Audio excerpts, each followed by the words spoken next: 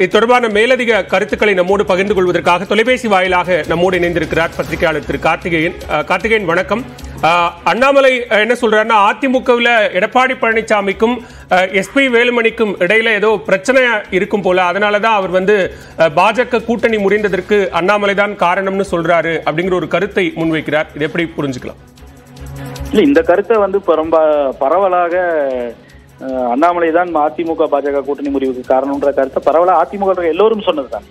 அந்த கூட்டணி முறிவு சென்ற ஆண்டு ஏற்பட்டப்போ அந்த தீர்மானத்துல வந்து ஒரு பகுதியை வந்து வாசிச்சாங்க இல்லையா? வெளியில வந்து வாசித்தப்போ அண்ணாமலை தான் காரணம் தான் பிரதானமாக முன்வைக்கப்பட்ட காரணம். அதான் அதிகாரப்பூர்வமாக அவர்களால் சொல்லப்பட்ட காரணம் இந்த கூட்டத்தை கூட்டி அஹ், முடிவெடுத்ததுக்கு அப்புறம். அந்த பொது மாவட்ட செயலாளர் கூட்டத்திற்கு அப்புறம் சொன்ன காரணமே அதுதானே. சோ அது ஒன்றும் புதிதாக எதுவும் சொல்லவில்லை.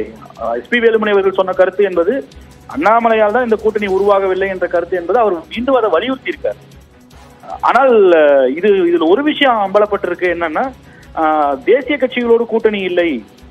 நாங்க அது- அவர்கள் வந்து மாநில நலனுக்கு எதிராக இருக்கிறார்கள் ஆதரவாக இல்லை என்று அதிமுக வந்து பிரச்சாரத்தின் போது தேர்தல் பிரச்சாரத்தின் போது முன்வைத்த வாதம் என்பது பொய்யா பொய் என்பது வந்து இதுல நிரூபணமாயிருக்கு. அவர்கள் வந்து பாஜகவோடு தனிப்பட்ட அண்ணாமலையோடு ஏற்பட்ட முரண் தான் வந்து தேர்தல் முறிவு கூட்டணி முறிவுக்கு காரணம் என்பதை வெளிப்படையாக ஒப்புக்கொண்டுள்ளார்கள்.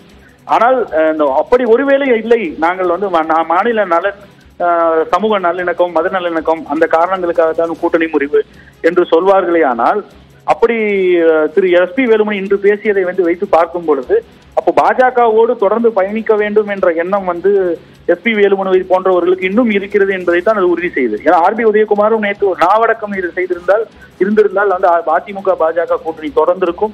சில தொகுதிகளில் பல தொகுதிகளில் வெற்றி பெற்றிருக்கலாம் என்று அவர் சொன்னார். இன்று எஸ்பி வேலுமணியும் அதே போன்ற ஒரு கருத்தை தான் வந்து முன்வைக்கிறார் அப்படின்னா அப்ப பாஜகவோடு பயணிப்பதில் வந்து அதிமுகவிற்கு எந்த ஒரு முரணும் கிடையாது என்பதைத்தான் இருவருமே வெளிப்படுத்துறாங்க.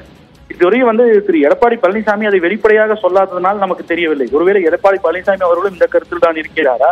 அதிமுக வந்து மீண்டும் பாஜகவோடு இப்பொழுது ஆட்சி அமைப்பதாக தெரிய போகுது இப்போ திரு மோடி அவர்கள் தலைமையில. அப்ப அந்த அரசோடு வந்து அரசு இல்லாட்டம் பாஜகவோடு உறவை வந்து புதுப்பிப்பதற்கு தயாராக இருக்கிறார்கள் என்பதோடைய சமிங்கை அது என்பதை நாம் புரிந்து கொள்ள வேண்டும். ஏன்னா அதற்கு மு- அதற்கு முன் முதலில் வந்து திரு எடப்பாடி பழனிசாமி தெளிவுபடுத்த வேண்டும்.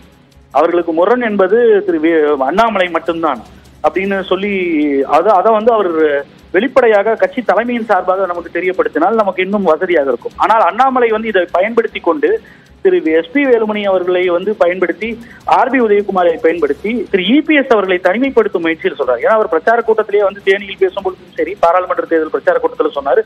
ஜூன் நான்குக்கு பிறகு அதிமுக ஓபிஎஸ் வசமோ இல்ல டிடிவி வசம் இவர்கள் இவர்கள் உள்ளடக்கிய இவர்கள் தலைமையோட அதிமுக கைமாறுன்றதையெல்லாம் அப்பொழுது சூசகமாக சொல்லி இருந்தார் அப்போ அந்த கருத்து தான் இப்போ எழுதுரிக்கிறார் ஒருவேளை அந்த அதனுடைய விளைவாகத்தான் இப்பொழுது வந்து இந்த கருத்தை வலியுறுத்துறாருன்னு நினைக்கிறேன் திரு அண்ணாமலை அவர்கள்.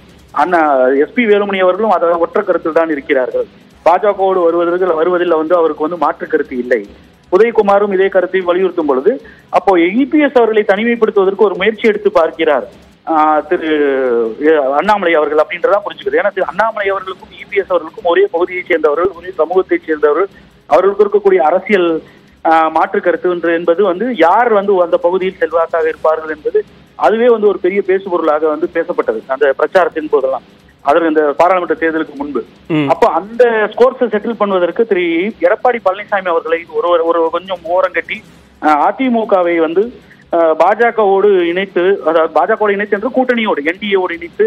இங்கு எடப்பாடி பழனிசாமி அவர்களை தனிமைப்படுத்தலாம் என்ற முயற்சியா கூட இருக்கலாம் அந்த அந்த பாணியில் கூட திரு எஸ்பி வேலுமணிக்கா பேச்சை வந்து இவர் இவருடைய வசதிக்கு ஏற்றவாறு திரு அண்ணாமலை அவர்கள் இன்டர்பிரட் செய்திருக்கலாம். அப்படிதான் நம்ம பார்க்க முடியும். மிக்க நன்றி கார்த்திகேயன். இணைப்பில் வந்து உங்களுடைய கருத்துக்களை எங்களோடு பகிர்ந்து கொண்டமைக்கு மிக்க நன்றி.